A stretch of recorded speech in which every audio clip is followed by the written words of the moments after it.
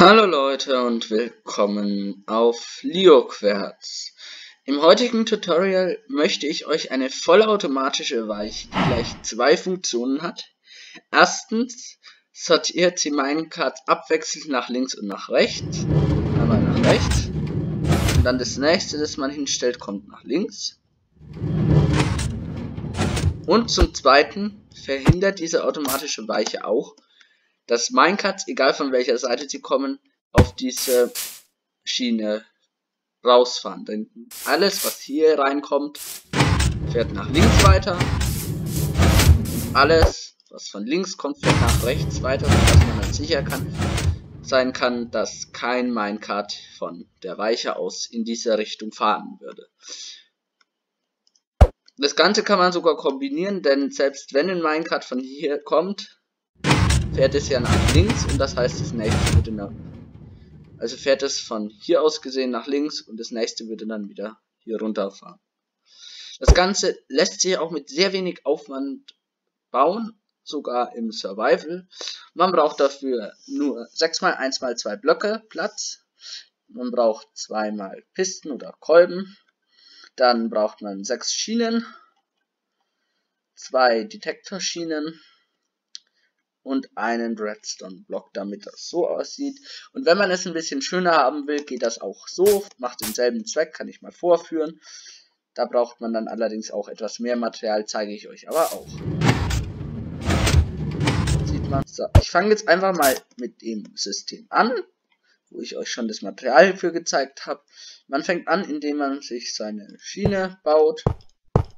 Daher und beschließt das hier, dieser Block hier soll die Weiche bilden. Dann geht man nach rechts und nach links jeweils einen Block und bepowert jetzt erstmal die Schiene mit einem Redstone-Block.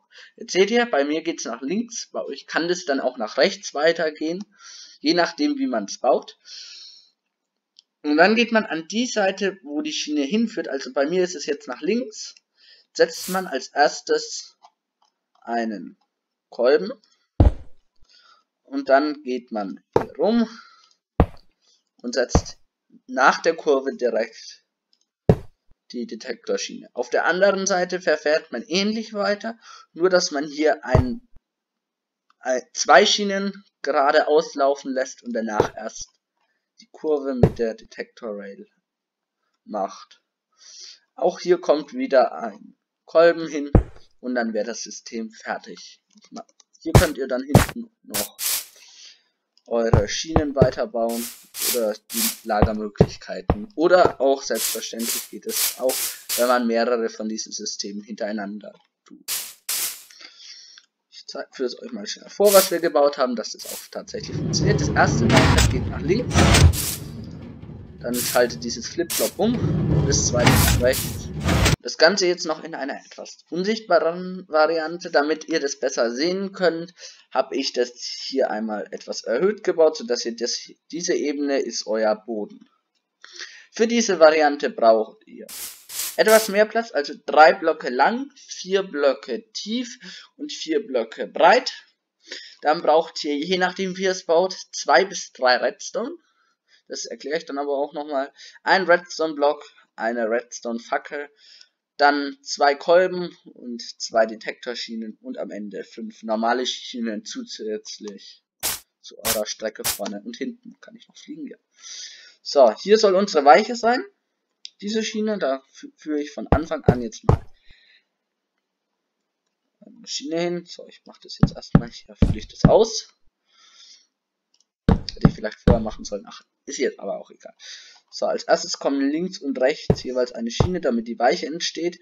Die Weiche wird jetzt erstmal mit dem Redstone-Block gepowert, damit ihr seht, wo, hier, wo das hingeht. Das geht, in diesem Fall würde die Weiche, wenn sie bepowert ist, nach links gehen. Das heißt, links wird eine Schiene freigelassen, also eine Schiene freigelassen und danach kommt erst die Kurve und rechts kommt dann sofort die Kurve. Wenn ihr den Block wegnimmt, sollte das dann so aussehen oder halt auch einmal ab hier, ab hier spiegelverkehrt. Das liegt auch daran, wie rum ihr es baut von der, in der Welt. Also ob ihr das jetzt so ausgerichtet oder so ausgerichtet baut. So, anschließend, nachdem hier auf beiden Seiten eine gerade Schiene nach unten wieder ging, baut ihr auf beide Seiten die Detektorschiene. So, und dann grabt ihr euch unter diesem Block hier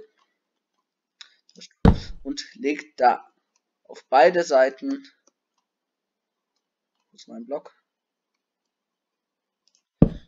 Ist das das? Ja.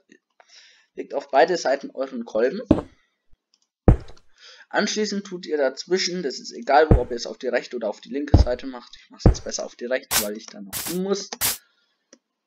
Das kann man offen lassen. Legt ihr euren Kolben hin. An sich, das Flipflop würde jetzt schon funktionieren.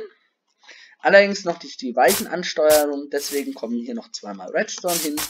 Dieses Redstone wird dann in einen Block geleitet. Wenn ihr das in die Erde baut, ist da denke ich einer. Und da drauf kommt eine Fackel und dann funktioniert auch dieses System. Ich kann es euch auch mal schnell vorführen. Hat alle Funktionen, die dieses System haben soll.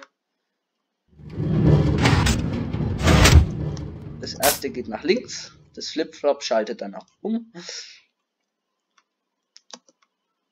Und das zweite geht nach rechts. Selbst wenn von hier was kommt, natürlich jetzt nochmal, damit ich das platzieren kann, zwei normale Schienen hin. So, und das würde dann genau funktionieren, dass das links fällt. Nun komme ich noch zu der Variante, wo ich vorhin schon mal was erwähnt habe. Und zwar ist das ganze System, was ich euch hier gezeigt habe, auch möglich etwas schmaler zu bauen. Allerdings bleibt dann hier noch ein Redstone sichtbar, den kann man nicht, nicht oder nicht so einfach verstecken. Ich finde es so schöner, auch wenn man ihn eigentlich einen Block tiefer noch setzen könnte.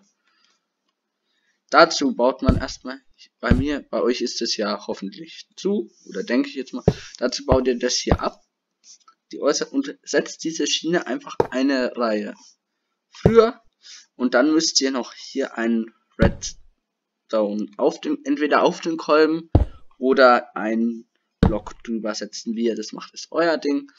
Und ich, wenn man die Schiene nochmal kurz, na, das ist eigentlich egal, muss man gar nicht, man kann sie noch bepowern, aber spätestens, wenn ein Minecart wieder drüber fährt, stellt sie sich automatisch um, es gibt ein Block-Update und dann funktioniert das genauso. Der Vorteil an der Variante ist, es sieht einfach symmetrisch aus, dafür gibt es hier noch einen Redstone, mir gefallen beide Varianten von der Sorte gut. Und ich hoffe, ich konnte euch weiterhelfen. Wenn es euch gefallen hat, könnt ihr mir einen Daumen hoch geben. Wenn es euch nicht gefallen hat, könnt ihr mir einen Daumen runter geben. Und dann würde ich mal sagen, tschüss, bis bald.